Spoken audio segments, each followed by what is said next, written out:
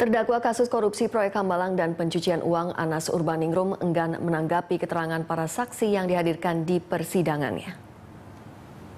Anas menyatakan keterangan saksi sering kali berbeda dengan BAP, bahkan menurutnya keterangan saksi hanya berdasarkan pencocokan di BAP. Anas memberikan contoh keterangan supir Mahfud bernama Yanto. Supir Mahfud itu dalam BAP mengatakan ia beberapa kali mengantarkan kantong kresek berisi uang untuk Anas. Namun saat ditanyai kembali, supir tersebut mengaku tidak pernah tahu apa isi kantong kresek tersebut. Meski seringnya berbeda keterangan saksi dan BAP, Anas menganggap hal itu bukanlah rekayasa. Saudara tuangkan dalam BAP di KPK? Sudah. Betul? Ya betul.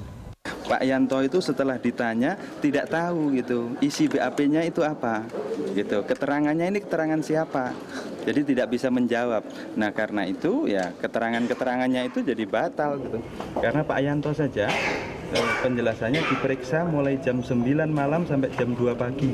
Nah ketika saya tanya itu keterangan siapa? Bingung. Nah, gitu. Jadi keterangannya ya batal semua. Jadi menurut Mas Anas ini disetting atau seperti apa? kenapa? Disetting? Saya tidak mengatakan di setting atau apa tapi itulah fakta